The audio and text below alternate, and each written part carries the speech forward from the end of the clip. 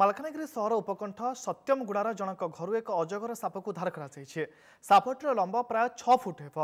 ଘରେ ପରିବାର ଲୋକେ ଟିଭି ଦେଖୁଥିବା ବେଳେ ଟିଣ ଛାତ ତଳେ ଏକ ସାପ ବୁଲୁଥିବା ଦେଖିବାକୁ ପାଇଥିଲେ।